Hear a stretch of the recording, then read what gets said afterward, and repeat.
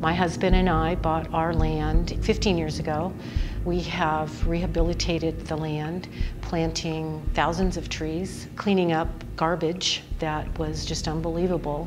And now they want to take over a mile of our property, burying a 36 inch high pressure gas line that essentially will be nothing short of a bomb waiting to go off in this rural community.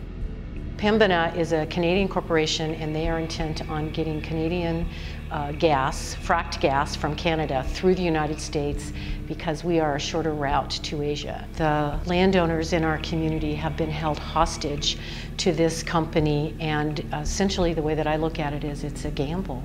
They are using us as their bargaining chips to export liquefied natural gas to Asia at the expense of Southern Oregon. They don't care about these small rural communities.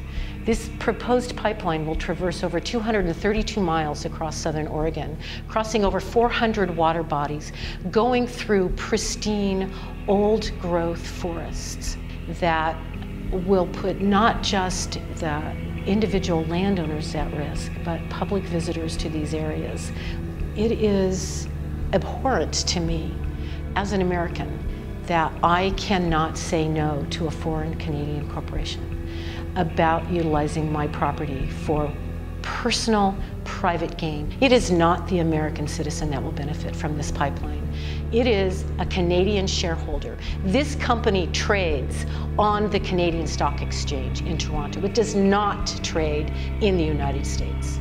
And yet my government has allowed this foreign corporation the ability to enact eminent domain to take my private property something that my husband and I have worked our entire lives to have. I will not benefit from this project in any way. It is not in the public interest. It is in the private interest of this Canadian corporation.